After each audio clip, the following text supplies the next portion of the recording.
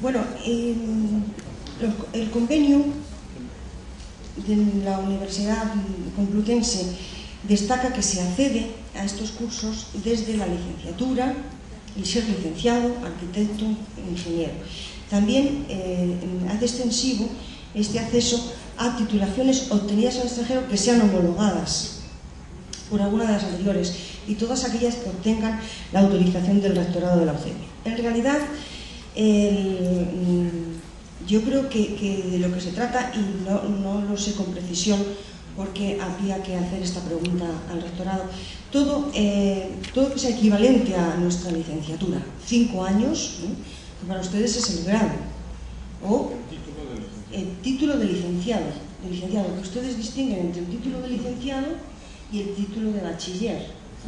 Entonces, ahí, el título de bachiller, eh, con el título de bachiller, no sé si... Sí, ahora te lo, paso porque además quieren que, que comentes algo del convenio de Ecuador. Entonces, eh, no sabemos muy bien si, bueno, salvo que, que el doctor lo sepa,